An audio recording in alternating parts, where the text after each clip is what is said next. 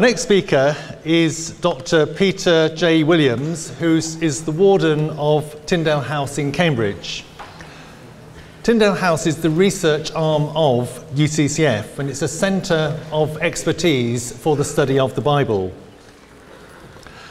Dr. Williams was a lecturer in Old Testament in Cambridge before moving to become senior lecturer in New Testament um, at the University of Aberdeen in Scotland uh, showing the breadth of his expertise.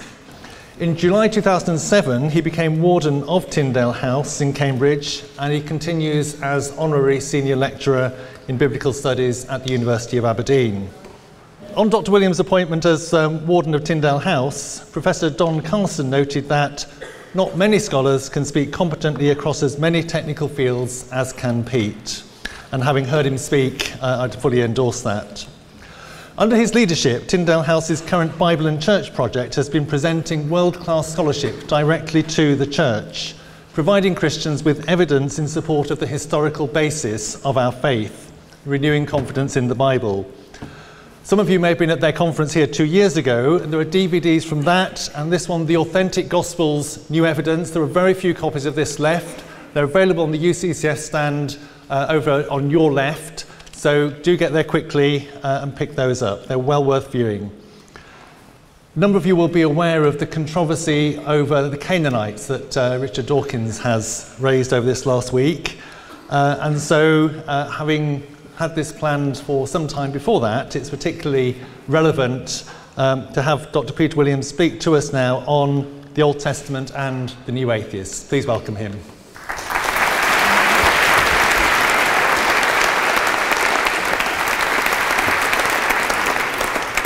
Well, good afternoon, everyone. It's really great to be here as the junior member of the quartet today and uh, to have a chance to uh, share with you about this topic. Uh, and everything's ready to go. The New Atheists and the Old Testament is my topic. I'm not as philosophically sophisticated as uh, the other speakers today, so I may make some blunders, but they can correct that in a question session later. I wanted to say a little bit about arguments. Basically, at this point, I'm responding to an objection to the Old Testament. Now, if Christianity is true, we should expect there to be positive arguments for Christianity. We should also expect the arguments against Christianity not to be um, defeaters. So I'm not expecting you to go away with a great sense of, wow, haven't we got a great argument about the Canaanites here? So much as, well, that objection that God commands the destruction of the Canaanites in the Old Testament isn't as bad an objection as I thought it was. When people ask us questions, I think sometimes we can ask them to rank their questions. They seem to have an infinite list of questions, and I'd like to say, is that your most difficult question? Is that your most important question? And if they say, well, yes, that is my most difficult question, you say, well, are you then prepared to admit that if your most difficult question could be answered or part answered, then the other questions can also be dealt with? That seems a reasonable inference. So, what we're going to do is we're going to look at the general narrative that we have of religion and violence in our culture, morality and the nature of the universe, and then finally look at the Old Testament story of the destruction of the Canaanites.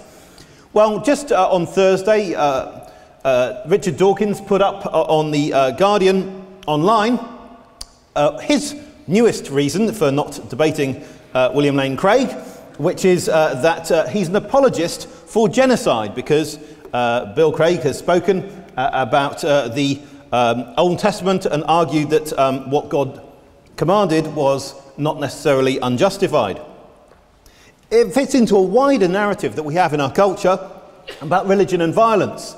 The secularists have been telling us a story that says, well, we can go back to the Crusades, you can go to the European wars of religion, you can go to the witch hunts, you can go to all sorts of things. Religious people are violent. And then we have 9 11, and that narrative only intensifies. Religion causes violence. We might well ask, is that really reasonable? Well, of course, it is in part true. There are religious systems which cause violence, they have that built into themselves.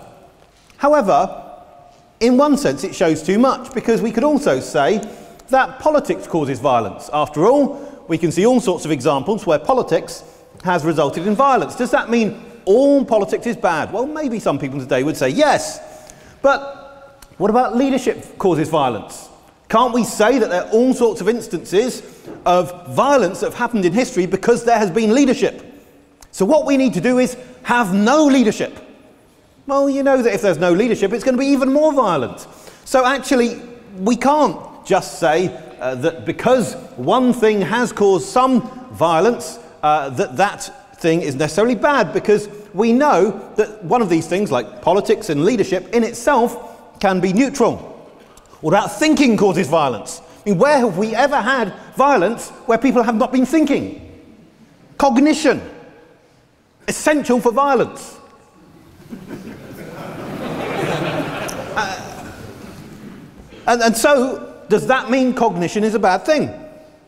Well, I think that's what people like to do with this religion causes violence, but it's a very important narrative in the culture because actually it means that when they see one more example, it fits into a pre existent story and that gives it plausibility because stories are what often convince people that things are true. Now, of course, you could look at people like Mao and Stalin and think, well, didn't they cause quite a bit of violence between them? Was it 80 million or something? Uh, the numbers vary depending what you read. And someone might say, well, haven't those two atheists, people who thought religion was something they wanted to get rid of, uh, killed more people than all the people killed during all the wars of religion in all of history? Ah, says the atheist. No. Uh, the, the problem is that was just two people, and I'm not that kind of atheist. Fine. But then I want to say, well, I'm not that kind of Christian. I mean, if you, if you want to say, I'm a follower of Jesus, and you want to, you know, load on me everything that has ever been done wrong in the name of Jesus, is that really fair? We could also think about what about great thinkers or uh, thinkers of the past, and can we blame them for everything that's done in their name? Let's take Karl Marx. Well, of course, your Marxists want to say, well, you know, he had some great thoughts and people took them in the wrong direction. What about Charles Darwin?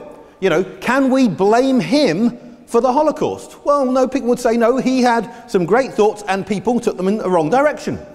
But the same would also apply to Buddha, wouldn't it? Can you blame Buddha, if he existed, for all the, you know, anything done wrong in the name of Buddhism? But of course, the same has to apply to Jesus Christ. Can we object to Jesus Christ because of things done in the name of Jesus Christ. And it seems pretty obvious to me that we can't. So I think I would be very generous in proposing a Marxist Christian truce. You know? Uh, and we basically say, okay, I'm not going to um, uh, do down Karl Marx because of what was done in his name, provided you don't do down Jesus Christ because of what is done in his name. I want you to look at Jesus Christ and I want you to tell me about Karl Marx. Seems like a fair deal. Now, getting on to the Old Testament, we remember this uh, quotation, many of us, from Richard Dawkins after he's been consulting uh, a, a thesaurus. The God of the Old Testament is arguably the most unpleasant character in all fiction. Jealous and proud of it, a petty, unjust, unforgiving control freak, a vindictive, bloodthirsty, ethnic cleanser, a misogynistic, homophobic, racist, and infanticidal, genocidal, filicidal, pestilential, megalomaniacal, sadomasochistic, capriciously malevolent bully. Notice the scansion at the end. So there we have his view of the God of the Old Testament. Well, I wonder how much he's actually been reading. Or here we have uh, from Christopher Hitchens, from God is Not Great How Religion po- Poisons Everything. Um, the Bible may indeed does contain a warrant for trafficking in humans, for ethnic cleansing, for slavery, for bride price, and for indiscriminate massacre. So that's what they believe the Old Testament is teaching. The objections uh, can be, of course, about violence generally in the Old Testament, reporting of war and conflict. But we could always say, well, that's just reporting, it's not commending. People might also object to the Old Testament laws uh, that have uh, capital punishment and uh, corporal punishment and so on, and we can raise that in question time if you like. Some people make objections about slavery. But I think the most uh, important objection, the one that comes up the most, is that God in the Old Testament told his people Israel to destroy the Canaanites. We can deal with the Amalekites separately if you like. We'll just focus on the Canaanites this time. And the objection might go like this How can a God of love command the destruction of seven nations? What about the children? Isn't that genocide? And if your God could command them back then to kill people, couldn't he command you? And isn't that just like the, the terrorists, suicide bombers, and so on? That's the form of the objection. Now, of course, post 9 11, I think a lot of us would feel quite a bit of weight to that last uh, um, way of putting the objection. So, what we have is uh, atheists often making an alignment between the Old Testament and two very nasty things. One is religious terrorism, 9 11, etc., and the other thing is genocide, Rwanda, and what went on there. And in a sense, all of the nasty things of those two separate nasty things bundled together in one is the Old Testament. Well, before getting on to that, I want us to consider something about um, moral judgments. It's already been very well put uh, earlier today how there can be no morality outside of, of God, no objective moral values, no moral imperatives. But let's assume that um, we're not going to try to press the argument too far. What can we say about morality? Well, our moral intuitions are formed in part by the nature of the universe we're in. Take, for instance, the universe of Tom and Jerry. Now, for those of you who are familiar with this, different physical laws apply in this universe. It's possible for um, Jerry um, to uh, do something very nasty to Tom. Tom will be uh, elongated or um, compressed, and very soon uh, he will be restored to his original setting. And that means that when we have our children watching Tom and Jerry, we might have some qualms of conscience about it, but on the whole, we realize that our children are going to be discerning and realize that different physical laws apply in the Tom and Jerry universe to their own. And so, therefore, they will not take this as uh, simply a license to do what they will and have no consequences. Or you could imagine uh, the story of uh, the uh, Sorcerer's Apprentice here in a Disney version. Um, and, and, what happens is every time, of course, uh, the apprentice uh, chops up one of those um, uh, brooms, it becomes two. Now, what does that teach us? Well, when, it, when we think about why it's bad to hit someone, the reason it's bad to hit someone actually is connected to something about the universe, namely the pain that they will feel. If you're in a universe in which there was no pain, it would not be of the same order. Or what about killing someone? If every time you killed someone, two of them came back, it would fundamentally change the nature of killing some, would it, would it not? Or you could think about a film like Prince of Persia, where, of course, time can run backwards. And that, of course, fundamentally changes the nature of killing someone. But we have to say that actually Christians and atheists disagree fundamentally about the nature of the universe, and that sometimes has game changing uh, effects on uh, morality. For instance, is the fact that Christians believe that there is something after death. Isn't that a pretty fundamental thing? Does that not change the nature of the universe you're in relative to an atheistic universe? Does that not have some effect on morality? Or the Christian belief that God Himself became incarnate and suffered on earth? Does that not have a game changing effect on morality? I believe that it does. So when we read a story like in Genesis 22 about Abraham offering up his son Isaac, it is essential that we read this in the right moral universe. Now, the tendency, of course, is for an atheist just simply to read um, God, nasty him, told Abraham to offer up his son Isaac. Well, God tells someone to kill someone else, that's bad, and they draw a simple parallel with 9 11. But actually, when we read the story of Abraham, going from the beginning, we read that God has been very faithful to Abraham over many years, has shown himself capable of fulfilling impossible promises to Abraham, and he has made a promise that Isaac is going to have children. That absolutely has to be fulfilled because God has promised it. But hang on, Isaac hasn't yet had any children. That means that Abraham knows, because he knows that God is reliable, that God is going to have to do something remarkable, uh, which um, is, is to do with the nature of the universe, in order to make sure that if he does kill Isaac, Isaac can continue to exist to have children. And so when we read in Genesis 22 that he goes along with his two servants to the mountain with Isaac, he says to the two servants that he leaves at the bottom of the mountain, I and the lad are going to come back. Now, that is a game changing thing because it shows actually the nature of the universe that Abraham believes he's in. As the New Testament comments, he believed that God was able to raise him from the dead. Now, does such a thing affect the universe, uh, affect morality? I believe, in fact, it does. And that's going to come to be important in what we look to. Now, what is the right thing to do? I believe the right thing to do is what God commands. And you might think, well, doesn't that mean God can command you to do the most nasty thing and it's the right thing to do? Absolutely not. Because God cannot command you to do absolutely anything any more than God can do absolutely anything. The Bible says that God cannot lie. God cannot create another God greater than himself, apart from the fact that it'd be logically impossible. He can't make himself cease to exist. There is, an, in fact, an infinite number of things that at least we could say that God cannot do. Uh, God cannot make three gods, four gods, five gods, uh, you know, greater than himself. Not that those are logically possible anyway, but, you know, the, the point is uh, all sorts of things that we could maybe talk about, uh, he can't do. And God cannot lie. God, I don't think, can command us to lie. But there are some things which would be wrong for you to do on your own authority, but would be right if he gave you the authority. And that's where we realize that um, uh, making that distinction uh, uh, again between objective and absolute morality that was made uh, by Bill uh, Craig earlier, that of course there are things which um, you, you, cannot do in any but the most exceptional circumstances, and one of them is kill another human being. But in certain circumstances, you can be authorized to do that.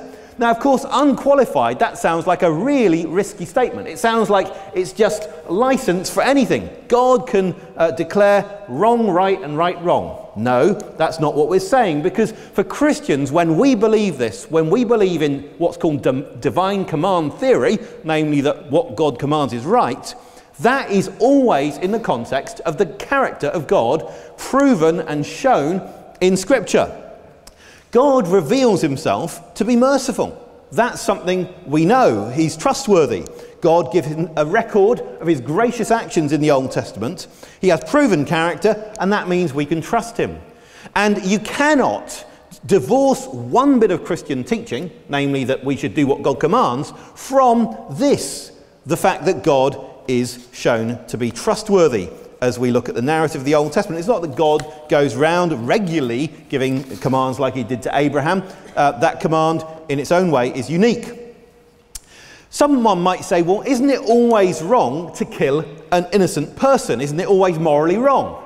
Well, of course, it's not always that moral guilt is incurred for killing someone else. I mean, what if someone is killed by a machine or killed by an animal like a tiger? Well, that tiger doesn't incur moral guilt. If someone is, uh, who kills by accident does not incur guilt in the same way, or someone who's mentally ill, we might debate the particular circumstances, but they cannot be said to be guilty in the same way as someone who's not. What about someone who sincerely believes that they're authorized to kill someone? Are they allowed to kill someone? The answer is absolutely not. It's nothing at all to do with sincerity. If you sincerely believe that you have voices in your head going to, uh, telling you to go and kill someone, like the Yorkshire Ripper uh, did, that gives you no authorization whatsoever. But if you indeed have proper authorization, things are different. Think about 9 11.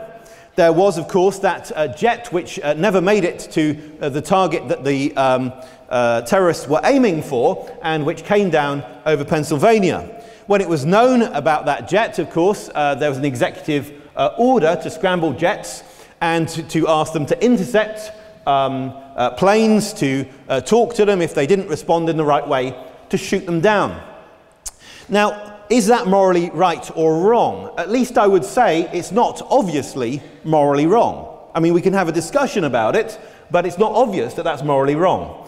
So, in fact, in extreme circumstances, with due authorization, I think one could say that perhaps uh, a pilot in a jet would be um, authorized to do something which would take innocent life. Now, that is absolutely exceptional. And I want to make the same case about the Old Testament that what we see when we come to the destruction of the Canaanites in the Old Testament is something as exceptional as that other thing that happened on 9 11, which the new atheists don't often talk about.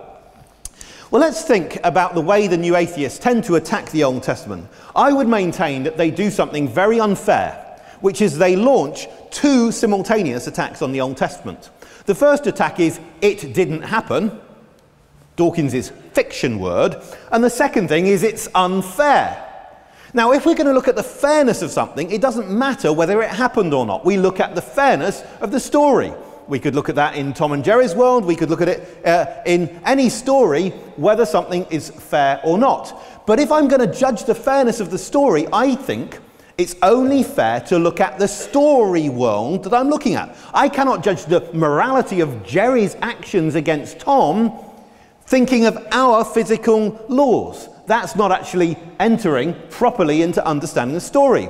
So I believe that in order for an atheist to critique the morality of the story in the Old Testament, they have to enter into that story.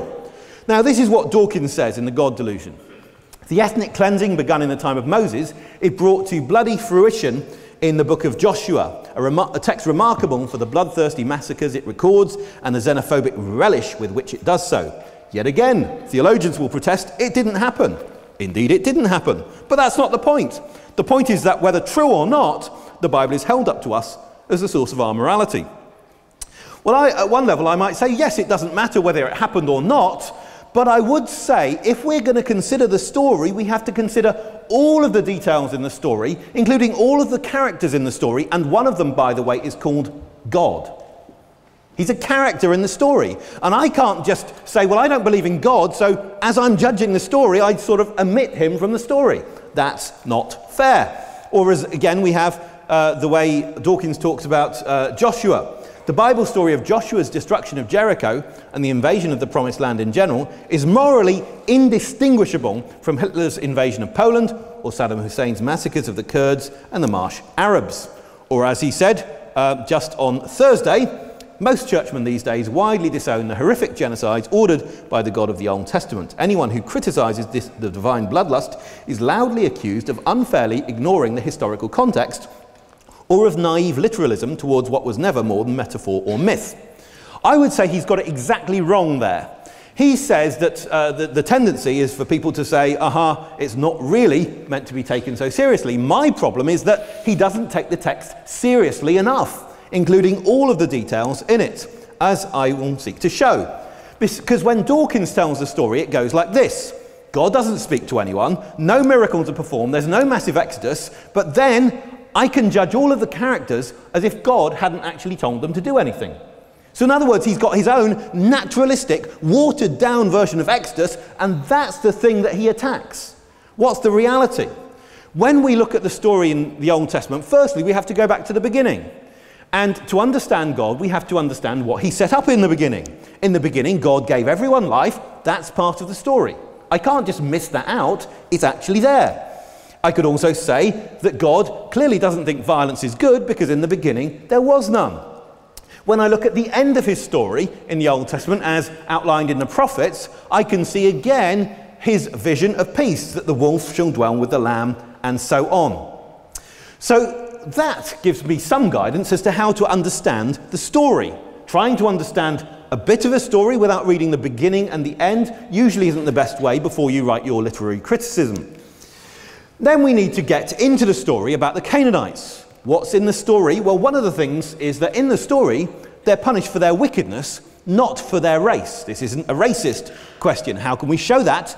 Because Rahab, the prostitute, and her extended family were spared. And why was she spared? Because she wanted to believe in God. Why did she want to believe in God? Because she had heard about him. And in fact, she said that all of the people around her had heard about the amazing things he had done, and yet she was the only one who seemed to respond. And yet, in the story, when Israel commits the same sins as the Canaanites, they too are judged like the Canaanites. So it's not a question of favouring one race over another. According to the story, according to what Rahab and others indicate, the people in the land knew what God could do and chose to resist. Also, in the story, they sacrificed their children. This is something that also we can say uh, seems very uh, likely archaeologically. People believe that they did have child sacrifice at the time. This is um, from Phoenician culture, where you've got uh, their uh, baby being uh, offered in sacrifice to a two headed um, god. But um, Phoenician and Canaanite culture are deeply linked. And it says in Deuteronomy, for every abominable thing that the Lord hates, they've done uh, for their gods. They even burn their sons and daughters in the fire to their gods. Then we need to think about Israel within the story. Within the story, Israel has a unique relationship to God. Israel is his judicial representative. That means, of course, that no one can correctly apply anything that Israel is told to do by God directly to themselves. We can also say that an important part of the story is the miracles. The command to destroy the Canaanites was accompanied by the greatest display of miracles that really is recorded in the Old Testament. You have the Exodus and the ten plagues, the crossing of the Red Sea, and then God going with a pillar of cloud and fire for 40 years in the desert. Well, you may believe that's just myth and didn't happen, but the point is, in the story, that's an integral part. And that means I can't just count that out.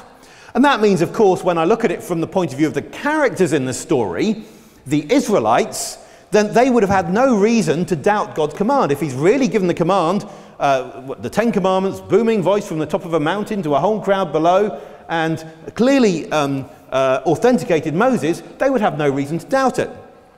So if I'm looking at the morality of, let's say, Odysseus in the Odyssey, I need to consider him in the light of the Odyssey's claim that Athena appeared to him. Whether it's fiction or history doesn't make any difference. The point is, I can't just discount that. That's all part of the story. So if I'm going to judge the morality of the people in the story, I have to say, well, would they really have had any choice about what they could do if God really had done all those miracles?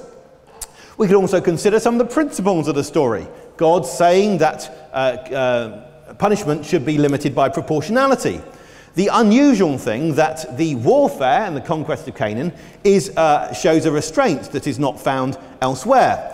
If you were being besieged by the Assyrians, you weren't just worried that they would kill you, you were worried about what they might do with you before they killed you. And yet, one of the things that doesn't happen, if you like, the dog that doesn't bark, uh, and it didn't bark, uh, in the story of uh, the invasion of Canaan, is them going in and torturing all of the people and then killing them. It's just not there. We can also say, and this isn't an argument that the Bible used, but I throw it out in case it's useful to you, that it would have put an end to Canaanite child sacrifice. Could an omniscient God know that over the centuries this command might result in the killing of fewer children, whereas not giving the command would have led to a cycle of violence as one generation avenged the next, and so on. We can't say for definite, but I, I suppose we can always ask, say that the, it's the burden of proof on someone to prove that an omniscient God could not have known that. Then we need to think about the character of God. When God reveals himself in this context, he reveals something about his personality. He says, I am the God who's merciful and gracious, slow to anger, and abounding in steadfast love and faithfulness. In other words, if you like, there is an asymmetry in which God's um, tendency towards mercy is different from the way he has a tendency towards anger, because the anger is, if you like, a strange work to God, not something inherent uh, to him, whereas his love is something. And we see that in the story where, of course, God delayed the punishment of the Amorites, one of those groups of the Canaanites, uh, for 400 years. Well, think how many conflicts nowadays would be avoided if people just waited 400 years before pulling the trigger. It would make quite a difference, wouldn't it? So, those are all part of the story. We can also say that in the story, God actually did most of the fighting. I mean, God made the walls of Jericho fall down, and when the Israelites went into the land and they fought with the northern um, uh, coalition of kings, it actually says in the text that God, through the hail, killed more people than the Israelites did. Now, I can't just strip that out because God is actually the biggest character in the narrative. And I'd want to suggest to you that that's a game changing thing. Imagine that Neptune appears out of the sea. You know, really, uh, to someone and tells them to go and do something. Are you going to hold that person responsible for what they do in the same way as if he hadn't? No, no, that, that really does make a difference. And then the question is how are you going to complain to Neptune about what he's doing? But then let's blow this up to something bigger. What if we're talking about Almighty God? What if He made everything and commanded this? Doesn't that make a difference? Whether in reality or in fiction, I'd say it does make a difference. Now, someone might say, well, that's just the way the Bible justifies it. They might say, well, don't a lot of nations claim to be better than other nations? In fact, Israel uh, in the Bible is not said to be better. I know of no ancient literature which so much does down the nation from which the literature came as the Old Testament. You know, usually ancient literature doesn't just say the glories of, of, of uh, the people group, it actually tends to give you the glories of their kings, which also you don't get much of in the Old Testament, do you? The, the, the Old Testament tells you, in fact, that Israel became as bad as the other nations you can compare the most proverbially evil uh, city, Sodom, in Genesis chapter 19 and what goes on there, with, in fact, what happens in the city of Israel in Judges chapter 19. You can read about Manasseh and how he burnt his sons, and, as it says, has done more evil than all the Amorites did who were before him. So, does the Bible encourage people to kill others today? Absolutely not, because as we read it, we know we don't have the same judicial position as Israel had then. The command was not private, but with the greatest display of signs of all history. So you can't say that someone like the Yorkshire Ripper or some 9 11 terrorists who made some deductions because of things going on in their head uh, that they should kill someone is any, in any way parallel with someone who has actually heard God's voice uh, speak from heaven when there are 603,550 men listening. It's quite a different thing. So it's completely different from all modern wars, and I think intelligent readers know that. Children know that. They feel that in their intuition test, which, by the way, explains Richard Dawkins' um, experiment with children and why they don't seem to object to the Joshua narrative. So, a common atheist perspective is that religious terrorism and genocide go together. Dawkins, in particular, says that Joshua, uh, the narrative there, is morally indistinguishable from the story about Hitler or Saddam Hussein. Well, I'd want to say there are a number of differences. The specific guilt. The narrative in Joshua really does have sin on the part of the Canaanites. It's not indiscriminate, and in fact, there's even a concern for children there. There's a 400 year delay, there's a warning which is ignored, there's warrant on the behalf of the people who are actually executing the command, and God does most of the fighting. Does that really make no difference morally between two things? I'd want to say, actually, those sort of things can make a world of difference. You might think that two things look the same when they're quite different. Take an amputation. An amputation, you know, cutting off a limb by a surgeon to help someone is absolutely morally worlds apart from an amputation in a, a bloodbath in Sierra Leone. You can't say that they're the same thing. Of course, you can go very superficially and say, well, you know, in each case, an arm was cut off by a person using something with a sharp edge. And you say, well, therefore they're morally the same. But actually, the conditions make them morally worlds apart. Then we need to ask which objection are people making? There are two very different objections. One is the objection it was immoral for God to command the destruction of the Canaanites. The other one, it's immoral for the Israelites to obey such a command if it really was given in the way the Bible describes. Now, I would have thought that it's very hard actually to make that second objection. Because the second objection would mean if I were on a jury judging those people and God really had appeared to them and given them and commanded in that way, I would judge them to be guilty. Would you? Would there be no special plea circumstances related to that if that really did happen?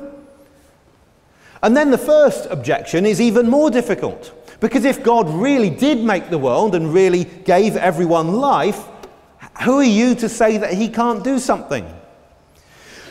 But when we come to this, what we find is in fact there is an emotional reaction for us, and that's a good emotional reaction. The emotional reaction is this all feels wrong. And it does. Because we're in a broken, universe. I'm not want, wanting to say that the problem is taken away. I'm not wanting to say that all the questions are answered. But this is clearly the most difficult moral objection to the Bible, at least at an emotional level.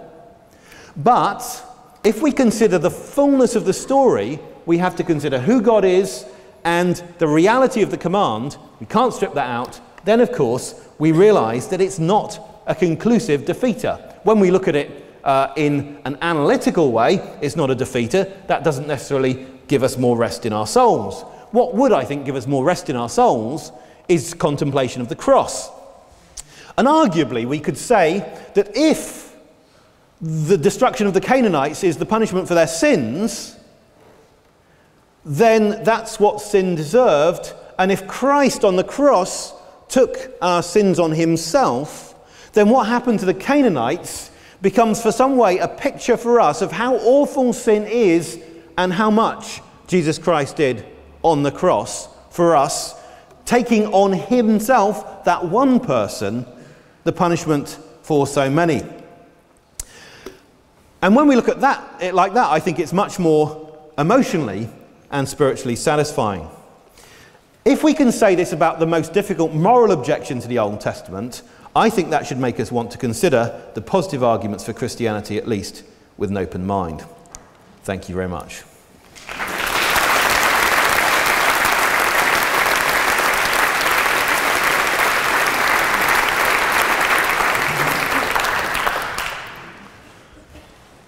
Well, thank you, Peter, very much for that. It gave us a very different way of looking at what is, for many of us, I think, a really difficult uh, issue um, to think about. So, uh, I'm sure there are questions, so if you want to make your way up to each of the microphones, uh, and then we'll take about 10 minutes of questions from you. Okay, on the right first, thank you. Hello, thank you for your talk. I found it really helpful. I've been asked about the Canaanite genocide from quite a lot of my non-Christian friends, and I, I've spoken about it quite a few times but they usually don't give me 45 minutes to explain. And so I was wondering if you could help me. What points would you raise if you had five minutes or you were writing on a blog or something like that? Yeah, great question. I mean, part of the issue is, is uh, you know, the soundbite culture that we're in. So I think what you need to do is try and reply with something that might stop someone uh, in, in their tracks. Um, and so uh, could you reply, you know, are you, could you imagine another universe in which the morality would be different? Because, I mean, they're thinking uh, within a, you know, uh, one, one conception. Um, if they're an atheist, we might want to ask why they have this moral intuition that this is wrong. So, I mean, that, that to me would, might be a classic way to go. You feel this is so wrong, where do you get that sense of it being wrong? Um, you know, because what if you were to sort of swap roles and start saying, well, I don't think it's wrong at all? We want to affirm their sense that there is uh, something that's objectively wrong um, uh, in, in, you know, in all but special circumstances of, of, of killing someone. We might want to ask them to think whether there can be special circumstances because we're very much wanting to say, look, this thing that happened with the Canaanites is not normal. This is exceptional. It's not normal way of carrying out wars in the Old Testament, it's, it's a special circumstance. So I think I'd want to do something like that, just, um, just a little teaser that, that gets um, the door slightly open, maybe. A question from the other side.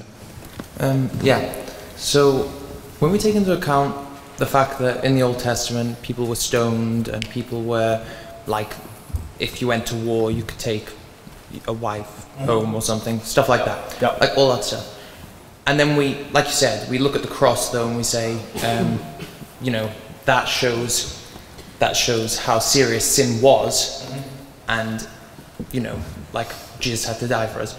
But that doesn't take away the fact that, like, was it fair for the other people back in the day yeah.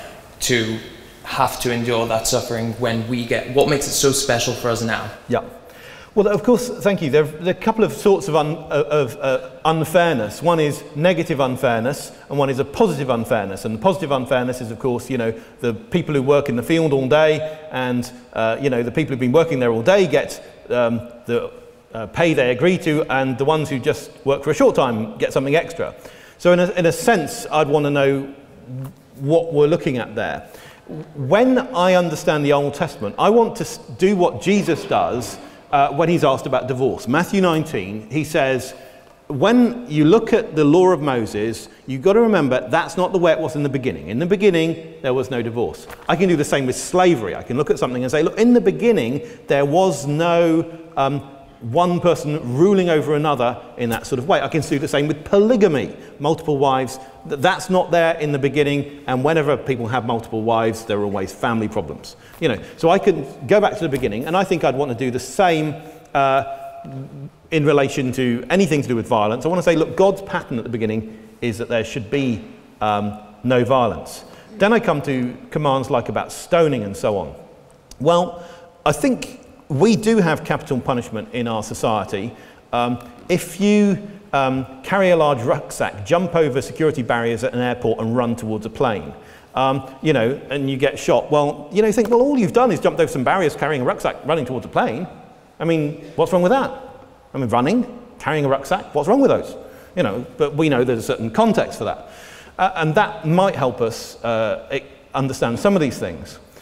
With um, the other thing is, prison that we have, you can only have when you have an economic surplus. So, you know, to, to, say that a society long ago should have been using prisons, prisons have problems, you know, doesn't really work.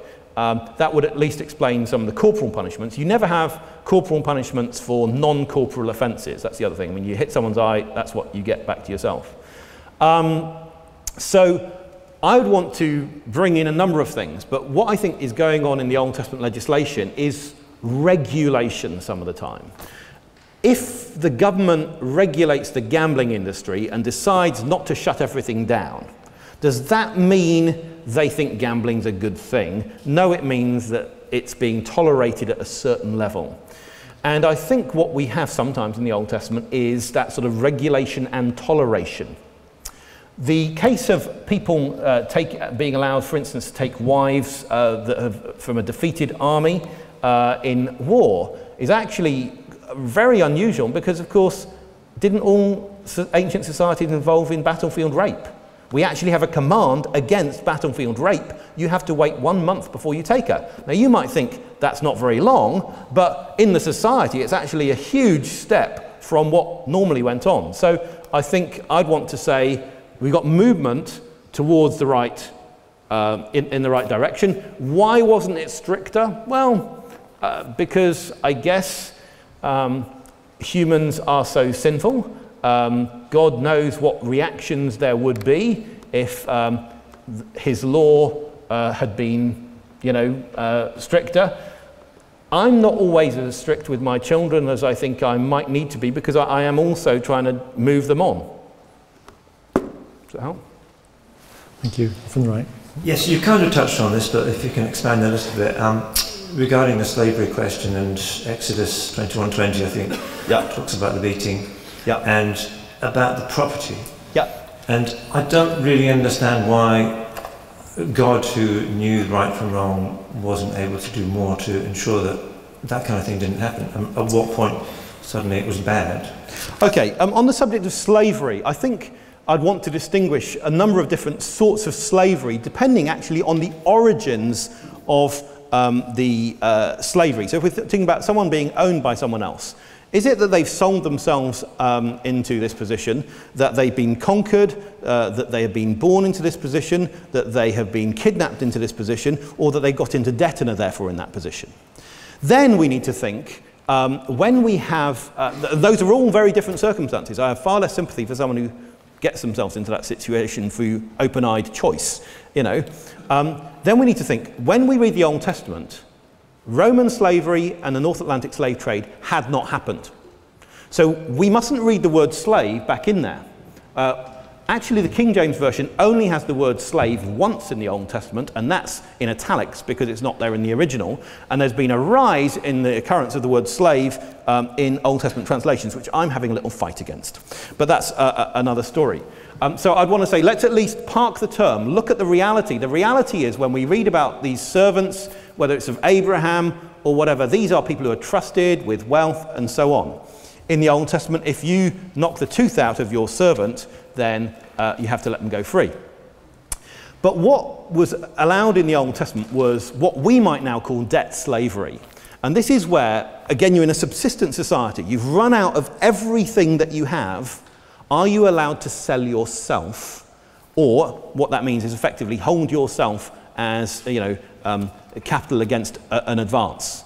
And that, I think, uh, is allowed. And in a sense, in a subsistence society, it's that. If you have no so- social welfare or death. And that is a different thing. And I think we read the word slave and we think slave catchers. There are no traders in slaves that we read about in the Old Testament, apart from Joseph's brothers, and that was a very bad idea. Um, it's people selling themselves or their daughters, but then all marriages are financial transactions. I can explain that if you like. Um, it's a different thing that's going on. So, um, the verse that I think you referred to was uh, Exodus chapter 20, uh, was it? Or 21, yeah, sorry, 21 verse 20, uh, where he said, okay, um, uh, if a man strikes his servant or slave or his maidservant with a, a rod and they die under his hand, he shall be avenged.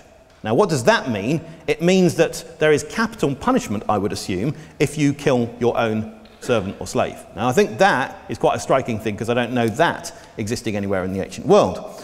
Um, then, but if it, the person lives for a day or two, he shall not be avenged because, and a lot of translations say at this point, this is 20, uh, Exodus 21 21, he is his property. Now, literally, it says he's his silver. Now, I think what this means is that this person has made a financial investment in purchasing that man's uh, labor.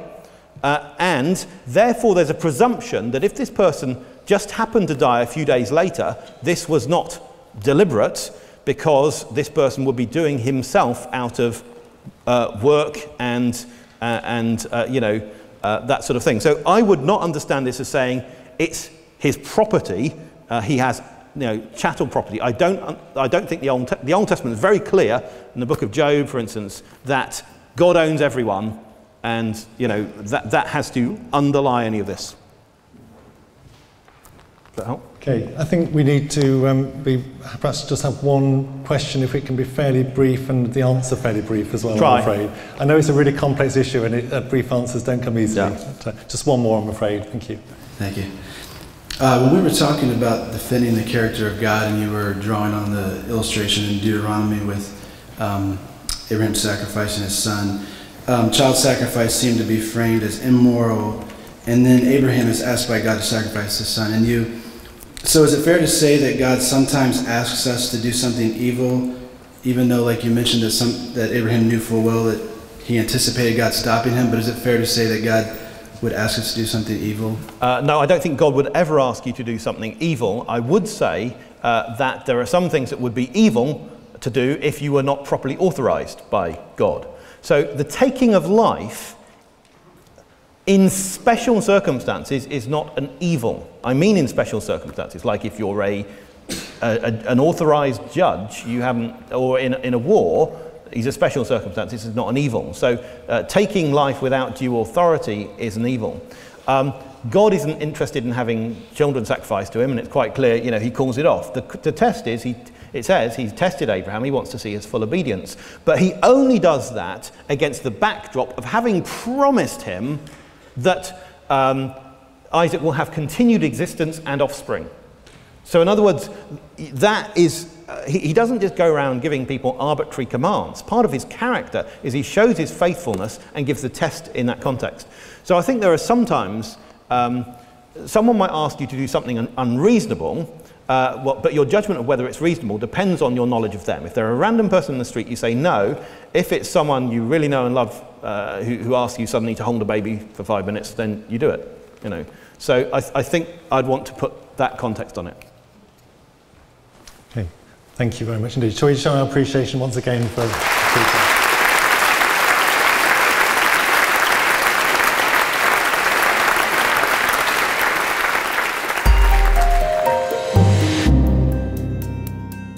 Let's go to the source that critics accept most of all in the New Testament I'm going to start chalking off a timeline up here. So this is approximately 30 AD. In the mid 70s, if you found someone in a well placed book, if that person said Jesus was raised from the dead, you almost could not find one that was not an evangelical. Today, the majority of scholars writing in the field, no matter how far left or right they are, the majority of them think something happened to Jesus after his death.